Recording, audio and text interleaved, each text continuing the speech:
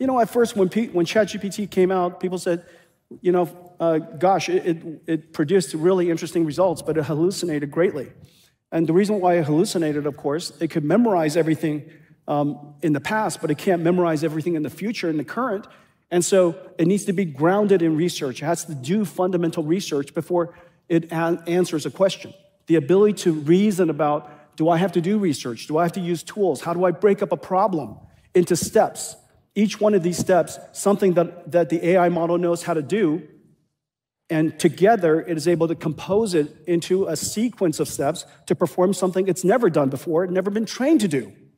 This is the wonderful capability of reasoning.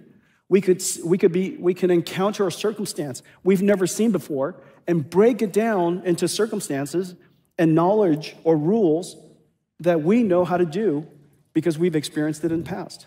And so the ability for AI models now to be able to reason incredibly powerful.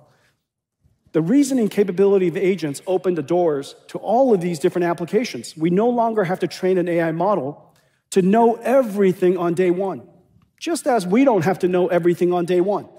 That we should be able to, in every circumstance, reason about how to solve that problem. Large language models has now made this fundamental leap the ability to use reinforcement learning and chain of thought and you know, search and planning and all these different techniques in reinforcement learning has made it possible for us to have this basic capability. And it's also now completely open sourced.